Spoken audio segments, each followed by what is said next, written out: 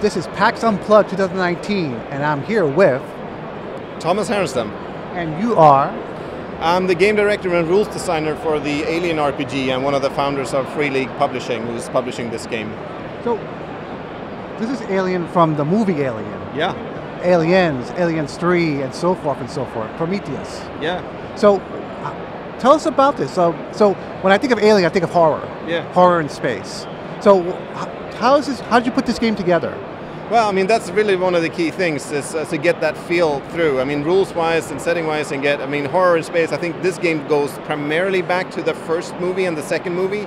It takes place uh, a few years after the second movie, after Alien. So that's the era we're focusing on. It's like the two first movies, and those have. I mean, the first movie is like really a horror movie in space. The second is more of an action movie, and those two elements are key in this game as well. So, rules wise, it's really what we're focusing on. We have a system for stress and panic that really brings out that feel of rising tension and horror. Uh, and also the action, of course. So it's it's been key when we try to design this game to get that feeling across from the primarily from the first two movies. So this is a role-playing game. What can one person expect to be in this world? Well, there's a couple of different uh, type. We have something called campaign framework, so you can choose what kind of characters you want to play. We have three in the core game. The first one we call Space Truckers. It's basically the crew of the uh, of the of the Nostromo in the first movie. They're like blue collar workers, you know, working hard in outer space, just you know, and getting into trouble of the most horrible kind. So that's one, the Space Truckers. The second uh, campaign framework that we have are Colonial Marines. So that's like in the second movie where you play uh, soldiers, basically. And then the third concept we have we call uh, uh frontier colonists. It's kind of like the, the crew in, in the Alien Covenant, the recent movie, where people who go out far into space exploring new worlds and, and settling there. And that's like the third framework you can play when you play this uh, campaign style. So tell us about the, the rule mechanics for this game. It, uh, what, what, do, what dice do you need? Yeah.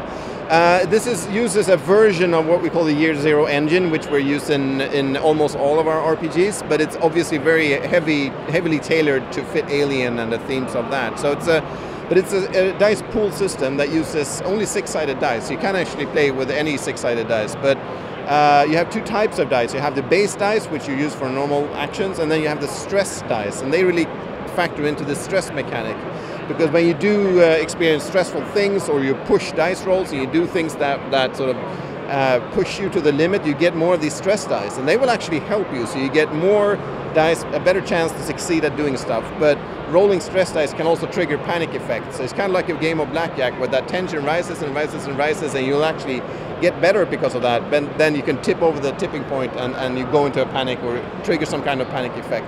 That's very briefly, I mean, the, the system works.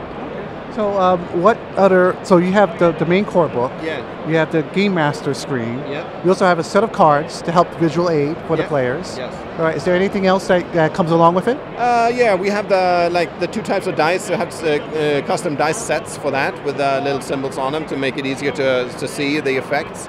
And then there's also a separate scenario called Chariot of the Gods, and that's a full cinematic scenario with pre-generated characters and maps and everything.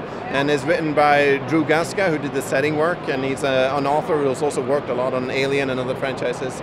Uh, so that that uh, scenario is a separate booklet, and that's also available now at, at launch. Well, thank you so much for your time. Thank you. And uh, stay tuned for more information about Alien RPG.